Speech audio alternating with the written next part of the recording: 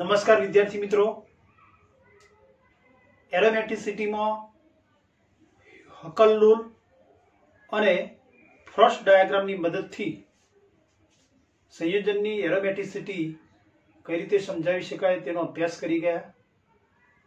NMR spectroscopy પણ એરોમેટિસિટી નક્કી કરવામાં બહુ મહત્વનો ભાગ ભજવે છે. એટલે કે એનએમઆર સ્પેક્ટ્રોસ્કોપીની મદદથી પણ સંયોજનની એરોમેટિસિટી સંયોજન એરોમેટિક છે કે એન્ટી એરોમેટિક તે નક્કી કરી શકાય. આ માટે સૌપ્રથમ કોઈ પણ પાઈ સિસ્ટમને જ્યારે એનએમઆર ઇન્સ્ટ્રુમેન્ટમાં બે ચુંબકીય ધ્રુવો નોર્થ એન્ડ સાઉથ પોલની વચ્ચે ચુંબકીય ક્ષેત્રમાં મૂકવામાં આવે છે ત્યારે એટલે કે ચુંબકીય ક્ષેત્ર એપ્લાઇડ કરતો એચ જીરો ચુંબકીય ક્ષેત્રે એપ્લાઇડ કરતો તેમાં પાઈ ઇલેક્ટ્રોનનું સર્ક્યુલેશન થાય છે અને પાઈ ઇલેક્ટ્રોનના સર્ક્યુલેશનથી પાઈ ઇલેક્ટ્રોનની આસપાસ ચારેય દિશામાં ચુંબકીય ક્ષેત્ર ઉત્પન્ન થાય છે. એટલે કે મેગ્નેટિક ફિલ્ડ જનરેટ થાય છે, જેને ઇન્ડ્યુસ મેગ્નેટિક ફિલ્ડ કહેવામાં આવે છે. આ એપ્લાઇડ મેગ્નેટિક ફિલ્ડ અને ઇન્ડ્યુસ મેગ્નેટિક ફિલ્ડની દિશાઓને આધારે બે પ્રકાર નક્કી કરી શકીએ. જો applied magnetic field H zero અને ઇન્ડ્યુસ મેગ્નેટિક ફિલ્ડ એચઆઈ બંને એકબીજાને સમર્થન કરતા હોય. એટલે કે induce magnetic field reinforce the applied magnetic ફિલ્ડની મજબૂતાઈમાં એટલે કે ચુંબકીય ક્ષેત્રમાં જો વધારો કરતો હોય, તો નેટ ચુંબકીય ક્ષેત્ર એચ ઝીરો પ્લસ એચઆઈ થશે. એટલે કે એપ્લાઇડ મેગ્નેટિક ફિલ્ડ કરતો નેટ ચુંબકીય ક્ષેત્ર વધશે. અને પરિણામે કેન્દ્રીય સ્પિન સંક્રાંતિ શક્તિ સપાટીઓ વચ્ચેનો શક્તિ તફાવત વધતો પ્રોટોન ફ્લિપિંગ માટે ઊંચી આવૃત્તિવાળા રેડિયો તરંગોની જરૂર પડશે અને પરિણામે પ્રોટોન ફ્લિપિંગ માટે ઊંચી આવૃત્તિવાળા રેડિયો તરંગની જરૂર પડતી હોવાથી કેમિકલ શિફ્ટ ડેલ્ટા લેમ્ડાનું, ડેલ્ટા લેમડાનું મૂલ્ય વધે છે. આમ અહીં પ્રોટોન ડિસિલ્ડેટ છે તેમ કહેવાય. અને ડિસિલ્ડેટ પ્રોટોન માટે ડેલ્ટાનું મૂલ્ય વધે છે. એટલે કે અહીં એનેમાર વર્ણપટમાં સિગ્નલ એ ડાઉન ફિલ્ડમાં જોવા મળે છે. જ્યારે એપ્લાઇડ મેગ્નેટિક ફિલ્ડ અને ઇન્ડ્યુસ મેગ્નેટિક ફિલ્ડ જો induce magnetic field applied magnetic ફિલ્ડનો oppose કરતું હોય, તો induce magnetic field applied magnetic ફિલ્ડમાંથી બાદ થશે અને પરિણામે નેટ ચુંબકીય ક્ષેત્ર એ એપ્લાઇડ મેગ્નેટિક ફિલ્ડ કરતો ઘટે છે અને પરિણામે એવો પ્રોટોન એ સિલ્ડેડ પ્રોટોન, રક્ષિત પ્રોટોન બને છે.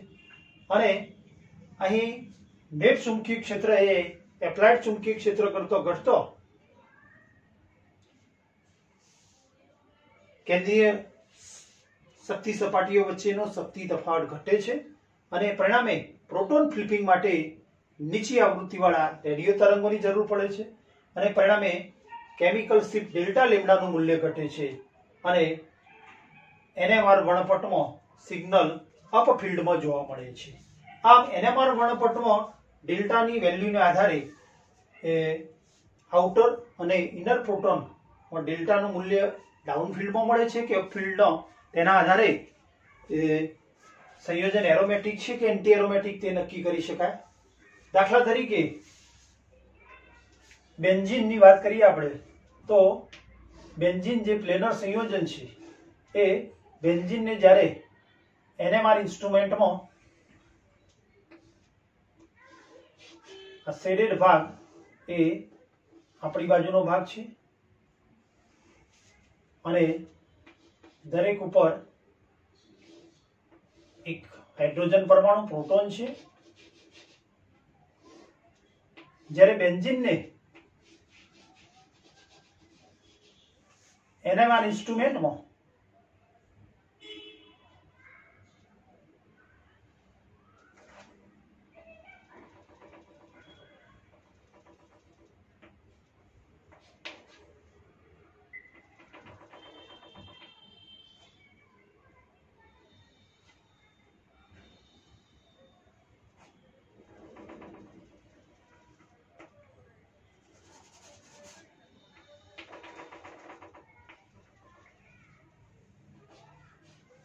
પાછળની બાજુનો હાઇડ્રોજન છે. જ્યારે એનએમએન ઇન્સ્ટ્રુમેન્ટમાં ચુંબકીય ક્ષેત્રમાં, એટલે કે નોર્થ અને સાઉથ પોલની વચ્ચે જ્યારે સંયોજનને એનએમઆર ઇન્સ્ટ્રુમેન્ટમાં મૂકવામાં આવે છે, એટલે કે ચુંબકીય ક્ષેત્રમાં મૂકવામાં આવે છે, ત્યારે નોર્થથી સાઉથ પોલ તરફ ચુંબકીય બેલ રેખાઓ જોવા મળતી હોવાથી, એટલે કે ચુંબકીય ક્ષેત્ર એચ ઝીરો એપ્લાઇડ કરતો એપ્લાઇડ મેગ્નેટિક ફિલ્ડ. ચુંબકીય ક્ષેત્ર એચ ઝીરો એપ્લાઇડ કરતો અહીં પાઈ ઇલેક્ટ્રોનનું સર્ક્યુલેશન થતું હોવાથી પાઈ ઇલેક્ટ્રોનના સર્ક્યુલેશનને લીધે આ છે સર્ક્યુલેટિંગ પાઈ ઇલેક્ટ્રોન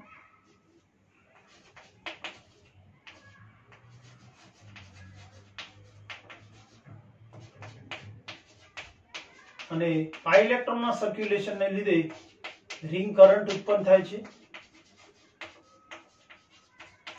અને પરિણામે એપ્લાઇડ કરેલ ચુંબકીય ક્ષેત્રની દિશામાં બહારથી અંદરની બાજુ ચારેય દિશામાં, એટલે કે એન્જિનના ફરતે ચુંબકીય ક્ષેત્ર ઉત્પન્ન થાય છે. અને ચુંબકીય ક્ષેત્રની બળ રેખાઓ બહારથી અંદરની બાજુએ જોવા મળે છે અને આ રીતે ચુંબકીય બળ ચિત્રની રેખાઓ થશે. નોર્થ ટુ સાઉથ પોલ તરફ.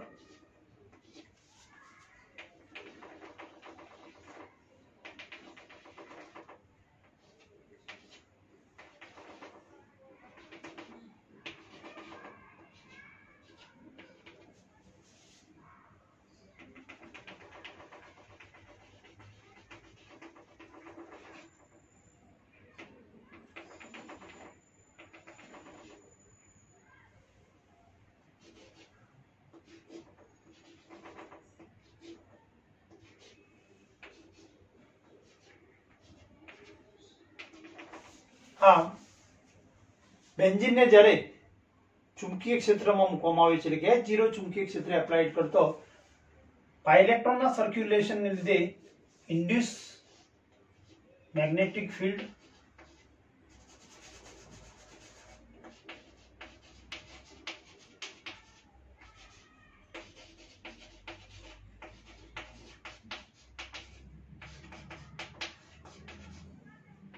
induce magnetic field એટલે કે ચુંબકીય ક્ષેત્ર ઉત્પન્ન થાય છે. અને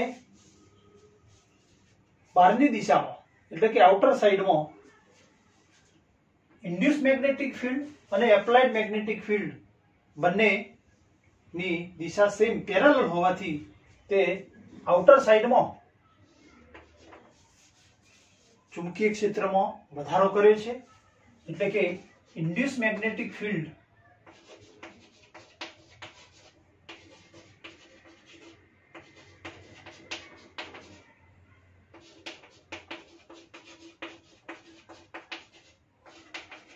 reinforce the applied magnetic field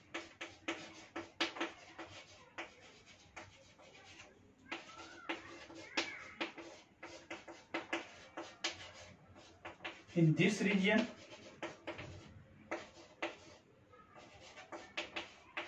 આ ક્ષેત્રની, બહારના ક્ષેત્રની અંદર એપ્લાઇડ મેગ્નેટિક ફિલ્ડ અને ઇન્ડ્યુસ મેગ્નેટિક ફિલ્ડની દિશા સમાન છે. એટલે પેરેલલ હોવાથી, એક જ દિશામાં હોવાથી ચુંબકીય ક્ષેત્રમાં વધારો કરે છે. જ્યારે ઇનર સાઈડમાં અહીં આપણે જોઈએ તો ઇનર સાઈડમાં ચુંબકીય બળ રેખાઓની દિશા અંદરથી બહારની બાજુએ છે. પરિણામે એપ્લાઇડ મેગ્નેટિક ફિલ્ડ અને ઇન્ડ્યુસ મેગ્નેટિક ફિલ્ડની દિશા ઓપોઝ છે. પરિણામે અહીં આપણે લખી શકીએ કે ઇનર સાઈડમાં induce magnetic field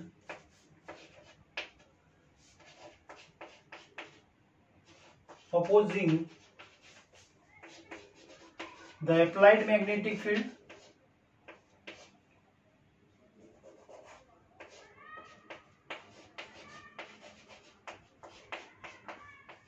in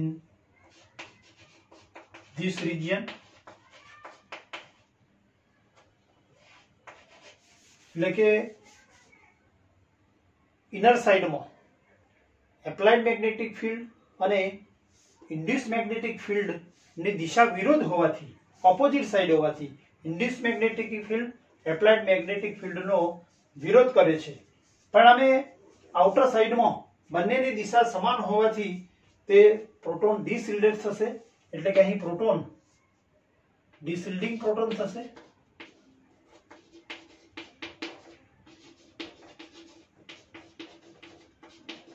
જ્યારે ઇનર સાઇડ એ શિલ્ડેડ રિજન થશે. તો જ્યારે એનએમઆર વર્ણપટમાં આઉટર પ્રોટોન ડિસિલ્ડેડ હોય અને ઇનર પ્રોટોન શિલ્ડેડ હોય, તો તેવો અણુ ડાયામેગ્નેટિક છે જેમ કહેવાય. અને ડાયામેગ્નેટિક અણુ હંમેશા એરોમેટિક ગુણધર્મ ધરાવે છે. અને પરિણામે અહીં બેન્ઝિનમાં આઉટર પ્રોટોન એ ડિસિલ્ડેડ હોવાથી અને ઇનર રિજિયન સિલ્ડેડ હોવાથી બેન્ઝિન એનએમઆર વર્ણપટમાં છ થી આઠ પીપીએમની આસપાસ એનએમઆર સિગ્નલ આપે છે. એટલે કે તેનું એનએમઆર સિગ્નલ એ ડાઉન ફિલ્ડમાં જોવા મળે છે. અને પરિણામે આમ એનએમઆર વર્ણપટને આધારે તે સંયોજન એરોમેટિક છે કે એન્ટી એરોમેટિક તે નક્કી કરી છે ઇનર પ્રોટન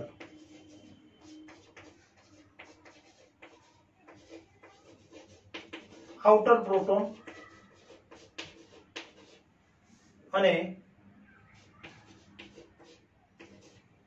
મોલેક્યુલ અને એરોમેટિસિટી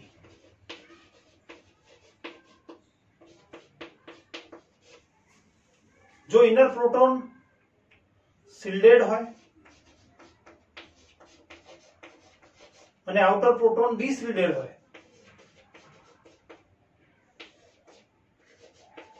તો તેવા અણુને ડાયાટ્રોપિક મોલેક્યુલ તરીકે ઓળખવામાં આવે છે. અને diatropic molecule is always aromatic in nature તો ડાયાટ્રોપિક મોલેક્યુલ એરોમેટિક ગુણધર્મ ધરાવે છે. પરંતુ જો ઇનર પ્રોટોન ડિસિલ્ડેડ હોય અને આઉટર પ્રોટોન સિલ્ડેડ હોય, તો તેવો મોલેક્યુલ એ પેરાટ્રોપિક છે તેમ કહેવાય. અને પેરાટ્રોપિક મોલેક્યુલ હંમેશા એન્ટી એરોમેટિક ગુણધર્મ ધરાવે છે. આમ એનએમઆર વર્ણપટને આધારે ઇનર અને આઉટર પ્રોટોન સિલ્ડેડ કે છે કે ડિસિલ્ડેડ એ એનએમઆર સિગ્નલને આધારે નક્કી કરી શકાય. અને તેના આધારે અણુ એરોમેટિક છે કે એન્ટી એરોમેટિક તેમ નક્કી કરી શકાય. આમ એનએમઆર સ્પેક્ટ્રોસ્કોપીને આધારે પણ સંયોજન એરોમેટિક છે કે એન્ટી એરોમેટિક તે નક્કી કરી શકાય. આમ કોઈ અનનોન કમ્પાઉન્ડ બનાવેલ હોય, તો તેની એરોમેટિસિટી ચેક કરવા માટે એનએમઆર વર્ણપટનો ઉપયોગ કરી શકાય. Thank you for watching